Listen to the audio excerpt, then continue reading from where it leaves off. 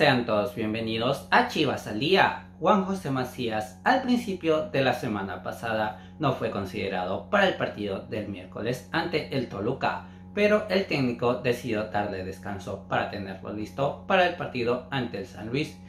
Pero ayer tampoco apareció el delantero mexicano y se dice que para el partido del miércoles en la Conca Champions tampoco será tomado en cuenta porque quieren cuidarlo, ya que su lesión fue la causante de perderlo por más de un año y el técnico no quiere que eso se vuelva a repetir, por lo que se quedará en Guadalajara para entrenar rumbo al partido del próximo fin de semana de la Liga MX. Además, habló el técnico Fernando Gago luego de la victoria ante el San Luis y dijo que no prioriza ningún torneo en cuanto a la Liga MX o a la Conca Champions y que jugará partido a partido para conseguir ser campeón en ambas competiciones. En cuanto a qué jugadores usará este miércoles en su debut en Conca Champions, tampoco quiso dejar claro quiénes jugarán y solo mencionó que cualquier jugador que elija está seguro que lo hará de la mejor manera. Luego de la victoria del día de ayer de Chivas de visitante ante el San Luis, con dos claros penales marcados por el arbitraje, donde al principio no los había pitado, pero gracias al VAR decidieron de la manera correcta, y con eso dos penales ganaron el partido y ya se encuentran en la octava posición de la tabla general.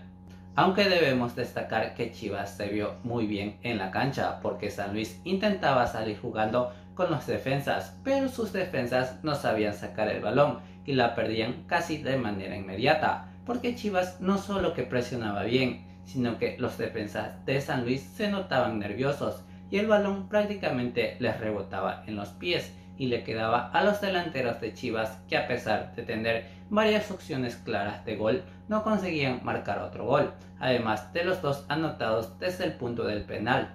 Veremos si con los siguientes partidos de Chivas el técnico Fernando Cago decide usar de titular a Eric Gutiérrez o a Fernando González porque el primer nombrado demostró un gran juego en este partido, pero cuando entró al cambio Fernando González, Chivas aprovechó los espacios que dejaba el San Luis. Al ir perdiendo, Fernando sabía dónde ubicarse para ser ofensivo con su equipo, pero Fernando González era el titular habitual en Chivas, por lo que la última decisión será del técnico Fernando Gago. Otro destacado de este partido es que nuevamente Chivas no consiguió anotar por medio de sus delanteros, porque las jugadas que tuvieron para anotar no definieron de la manera correcta, por lo que nuevamente nos hace pensar que cuando Chicharito Hernández esté disponible para jugar con el Guadalajara será el claro titular, porque lo que más necesita Chivas es un delantero goleador,